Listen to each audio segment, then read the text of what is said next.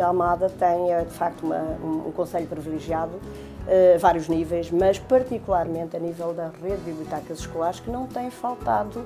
com nada, absolutamente nada do que é mais inovador, mais necessário para todos os professores eh, bibliotecários das escolas associadas. Também posso dizer que os professores têm apreciado e têm beneficiado dessa formação e têm aplicado. Portanto, todas as nossas bibliotecas escolares são efetivamente eh, muito